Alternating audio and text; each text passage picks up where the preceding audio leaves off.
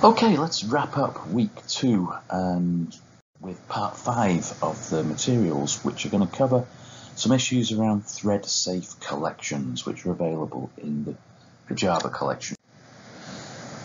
Let's think about two threads sharing a linked list which an, has an explicit size value. Both threads try to add an element to the list at the same time. They read the size value, one of them adds an element, writes the new size back, the next adds its element and writes the size back, and it overwrites the size that was written back previously by the, the first thread. This is a classic race condition. So the size variable and the number of elements in the list need to be synchronized, otherwise the, the structure will be corrupted. So this gives you an example of why we need uh, thread-safe access to all of our structures um, in our programs. Now, interestingly, none of the Java util collections are thread safe, except for the vector and hash table, which is a legacy reason from Java 1.0, if I remember correctly. And so all the, the collections you know and love are not safe to use in your multi-threaded programs. And the reason for this is very simple. Uh, synchronized methods are much slower than non-synchronized methods um, because you have to, there's overheads incurred with, with acquiring the monitor lock. So if you need to have thread-safe collections in your programs, in your multi-threaded programs you almost certainly do, then you've got two options. You can either, first of all, build yourself a custom wrapper that has synchronized methods, and these are then delegate to the underlying collection methods to, to um, manipulate the data structure. Or Java provides this um, static method for the collections um, class, so you can create a synchronized version of any of the um, packages, any of the, the, the collections in the Java util package. So here we are creating a list which behaves just like a normal list, except what's happening here is that the there's basically a synchronized wrapper being generated for you by the collections classes. So this then is thread safe to access. So that's always an option and, and less error prone, I guess, than the first one. Still, these synchronized wrappers will still incur the performance penalty that you have with, with synchronization. This is acquiring the monitor lock, and then all of the access to the underlying data structures is serialized, so only one thread can access the, the data structure at a time. And if we make a modification, then the whole structure is locked. So again, only one thread can, can make a modification. And if you remember back to last week's lecture, what about Amdahl's law? This is basically an area where your code is serialized, making modifications to your synchronized um, data structures. So in this case, we are serializing our code, which is limiting its concurrent performance uh, potential. For this reason, Java 5 incorporates the java.util.concurrent package packages. And this is a, an excellent collection of classes that are specifically designed for, for efficient use in multi-threaded programs. So let's take a brief look at some of these. Um, we'll go over examples of these three. Um, the blocking queue, concurrent hash map, in fact, and a copy on write array list. So all of them are designed to be used in thread safe, in a thread safe manner in your multi-threaded programs. So a hash map behave, a concurrent hash map behaves just like a hash map, except it's actually divided by default when you create one, you can modify this into 16 segments, and a lock is applied to each segment within the underlying data structure. They're called buckets.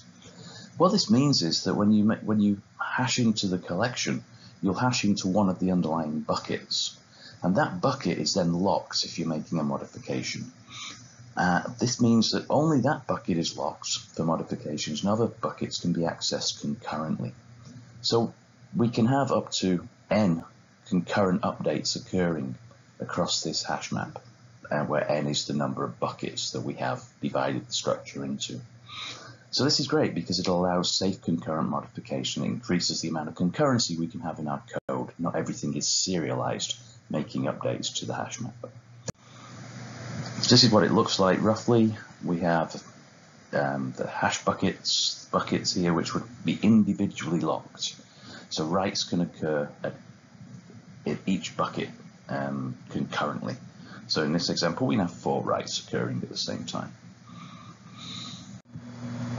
So a concurrent hash map has all of the uh, operations you know and love, and uh, things like remove and replace are guaranteed to be atomic and hence be safe in a multi-threaded environment.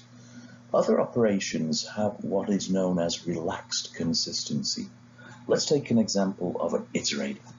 When I ask for an iterator on a concurrent hash map, I'm guaranteed to get the contents, to iterate over the contents of the hash map at the time of the iterator's creation. I may or may not see um, elements of the hash map which are added or removed um, after I've created the iterator.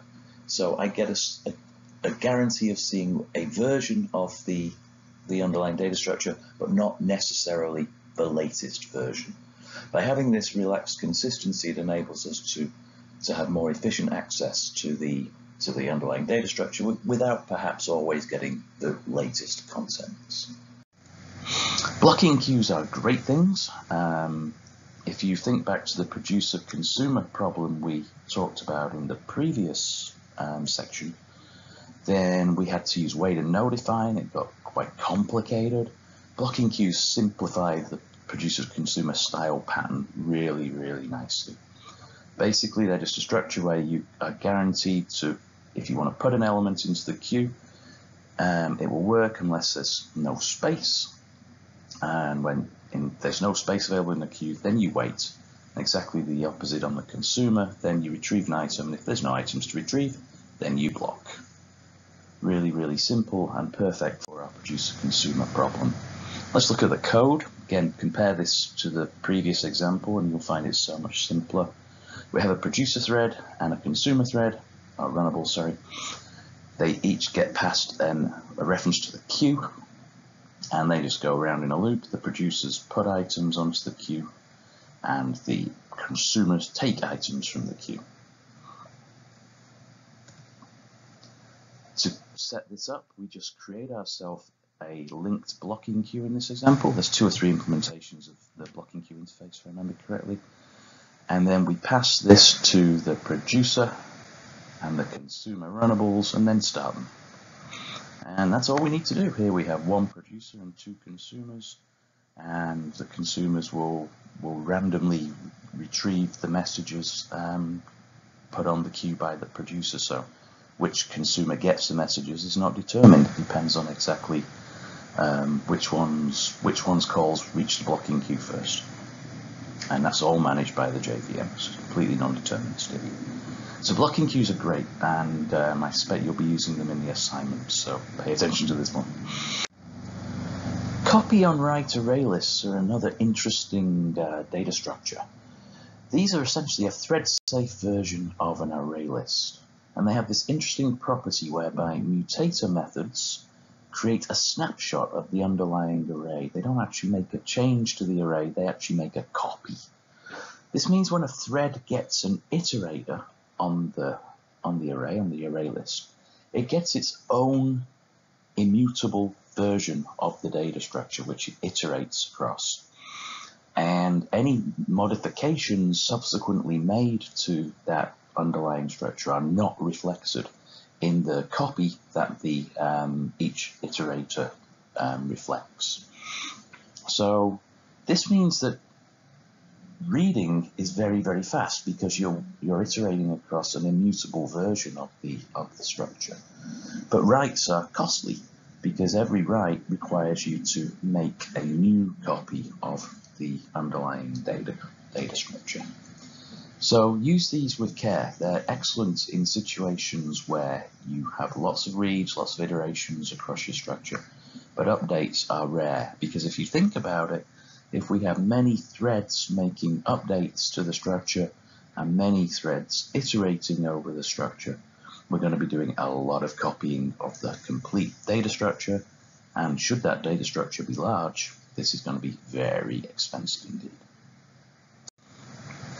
So, in summary, um, from the whole the whole module, concurrency is a fundamental part of, of software systems, especially distributed software systems.